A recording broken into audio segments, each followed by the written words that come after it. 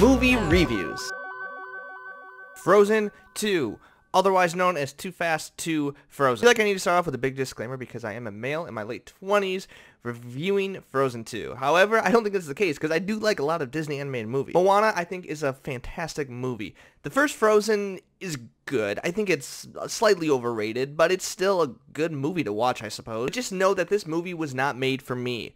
It's an animated movie made for children and families, and so I only have a certain limit of how much I'm going to be able to enjoy this. If we're doing this whole comparison game, it was not nearly as good as the first Frozen, and let me start explaining why. Now, the thing that the first Frozen movie did so well was establish this universe, establish this character, this music, and the second Frozen tries to do all of that in a continued story, but falls short on almost every single aspect. First, the characters. They're all returned. You got Anna, you got Elsa, you got Olaf, you got Kristoff and Sven.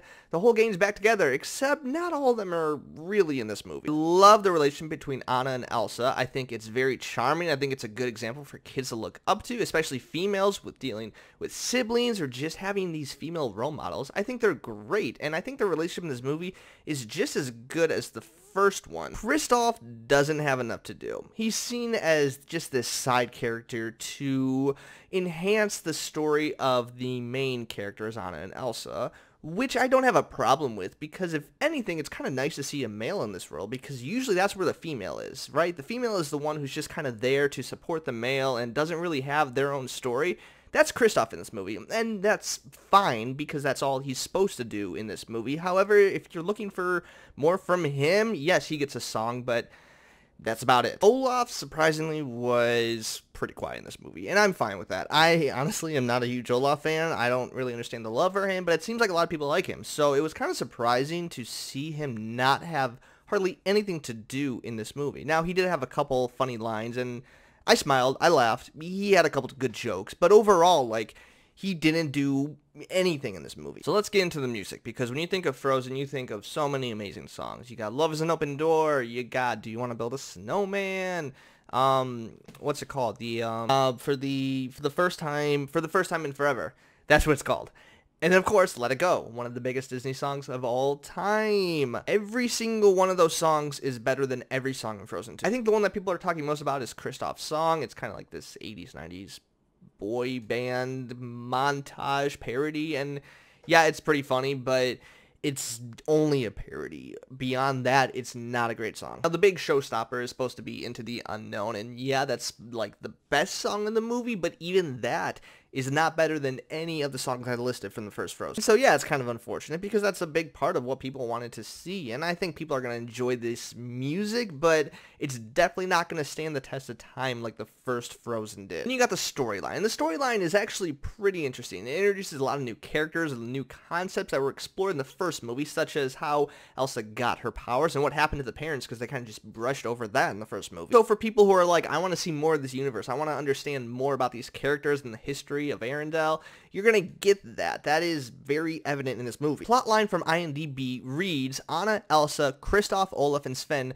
leave Arendelle to travel to an ancient autumn-bound forest of enchanted land. They set out to find the origin of Elsa's powers in order to save their kingdom. And so yeah, that's kind of the gist of the movie, right? They find out more about her powers, they find this new land, they explore like what happened to my parents because the movie starts off with their parents explaining to them this whole story and this adventure just leads leads from there. So as a movie to fill in the blanks and questions that people have about this world, it does a decent job. However, that's kind of all it does. It never really goes too many interesting places, and I think the biggest problem that it has is it relies too much on magic. Now, I am a big believer in not using magic in movies to break the rules that you have set up. I think it's a cheat code, and this movie struggles to not do that. That's usually my biggest problem when it comes to movies like the Harry Potter franchise, and I know those are beloved movies by so many people, but I have issues with some of them because that's kind of the solution to a lot of these issues that the script presents. Here's what happens. We have this problem, so what are we going to do? Let's use this spell. Okay, well, this spell causes problems, so what are we going to do? Let's use this bigger spell. And so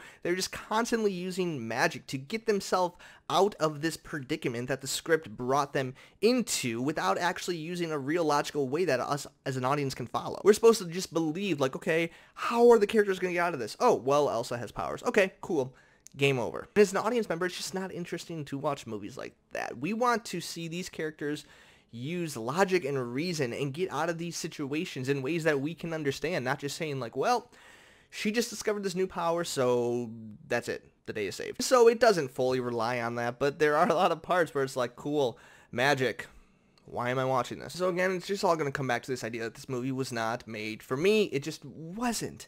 I can enjoy this movie, and I I did. It was fine. I'm, I'm not going to revisit it like I would the other Frozen movie, but it's a fine movie. Now let me just say a quick clarification for my scorekeeping. It's based out of 1 out of 100, but it's more of like a ranking in a way. So I'm comparing these movies to other movies that I've seen. So just because something's like a lower score doesn't mean it's like, oh, it's a 30 out of 100. No, it's just like if I were to, you know, round all my movies into 100 movies, it'd probably fall about 30th on the list. That being said, I'm going to give this movie a 48 out of 100. It's just slightly below average. I don't, I don't know what else to say about it. Follow me on Letterboxd. I'm going to give it a 2.5 out of 5 stars. Yeah. There it is, Frozen 2. Have you seen it? What do you think? Comment below. Let me know your thoughts. Don't forget to like and subscribe for more content like this, and I will see you next time.